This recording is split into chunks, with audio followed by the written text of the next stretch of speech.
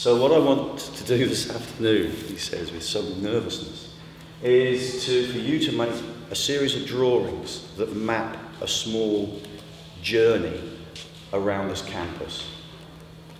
And, and these drawings could be um, observational drawings, they could be schematic, they could be diagrammatic, they could be a mixture of all of them.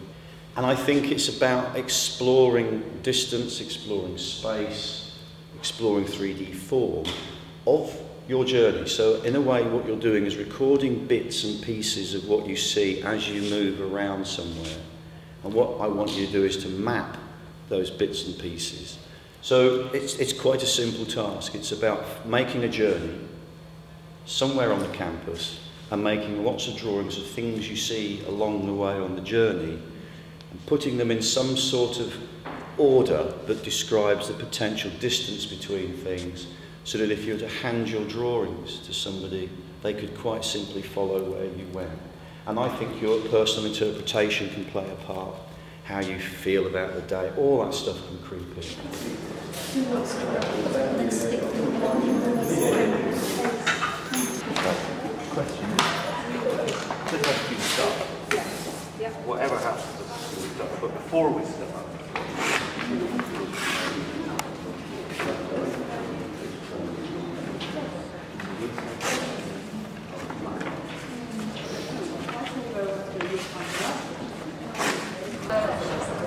Fall back. Yeah, that's fine. But when we roll it back up, what kind of problems that? We need a start point, don't we, to show something down at the start. Do you think that's enough? Do you think that's enough information?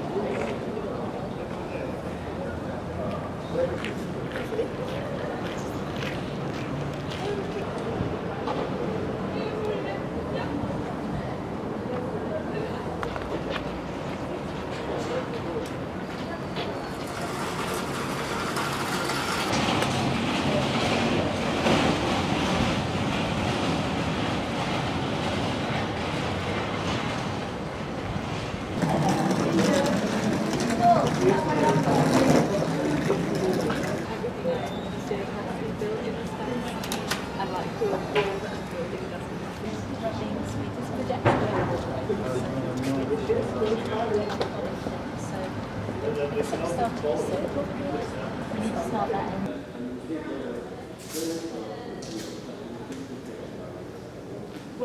in science, before you even produce them, you can just hang it and map them up.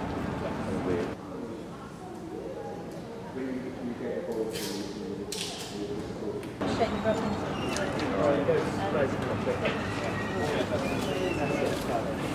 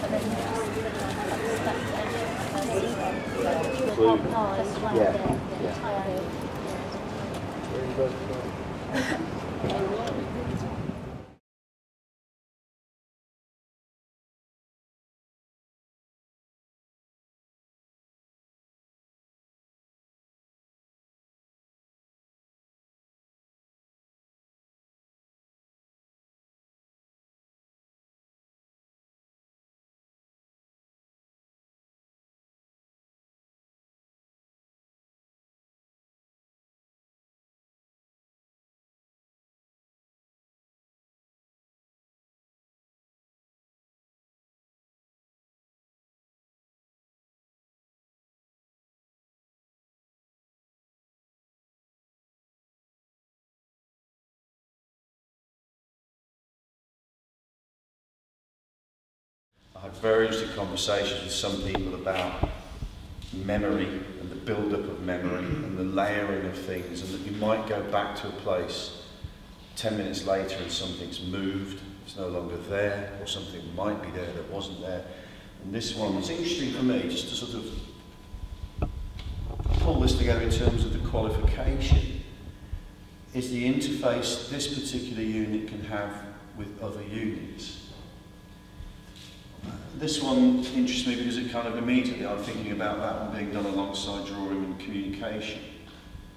A kind of, there's a kind of um, graphic design, illustrational quality there. Um, this one particularly maybe there's elements of these. There's the whole idea of drawing and writing.